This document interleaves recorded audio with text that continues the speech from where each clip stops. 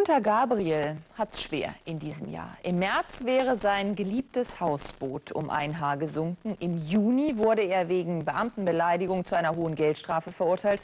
Und fast pleite ist er auch noch. Umso schöner jetzt die Überraschung, als ihn Tochter Lisa Marie zu einem Konzert in Düsseldorf besuchte. Und seine Schwestern waren auch noch mit dabei. Und mit denen haben wir bei der Gelegenheit gleich gesprochen. Gunther Gabriel auf der Bühne.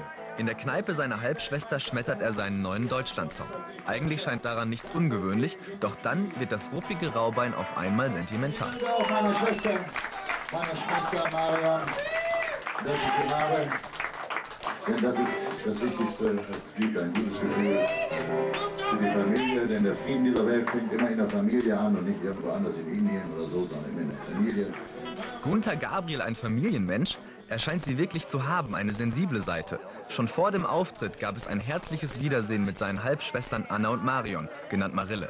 Beide erinnern sich an eine gemeinsame Jugend. Die ersten zehn Jahre sind für mich eigentlich eine sehr schöne vom Gefühl. Man hat ja nicht so viel Erinnerung. Ich erinnere mich aber ganz, ganz deutlich daran, dass mein Bruder immer Sänger werden wollte. In München haben wir den mal getroffen, da hat er uns die, durch die Nachtclubs geschleppt. Stimmt, das hatte ich ganz vergessen. Das war sehr aufregend. Da war ich ja eigentlich noch viel zu jung für, aber es war, ist eine bleibende Erinnerung. Ja.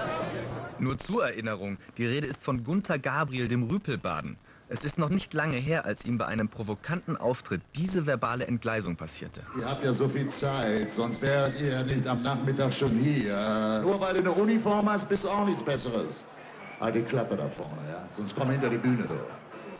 Kein Einzelfall. Sogar im Krankenhaus ließ der Country-Sänger gutes Benehmen vermissen. Verbotenerweise konnte er sich das Rauchen selbst im Bett nicht verkneifen. Auch hier noch keine Spur von der sensiblen Seite des Musikers. Und dann ist da immer wieder diese ganz bestimmte Geste, der böse, böse Fingerzeig.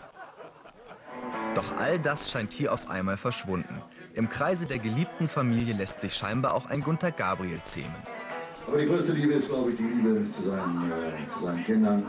Ich freue mich, dass heute meine Tochter da ist, die extra aus London hierher gekommen ist.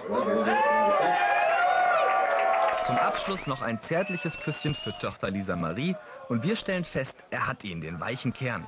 Mal sehen, wie lange noch.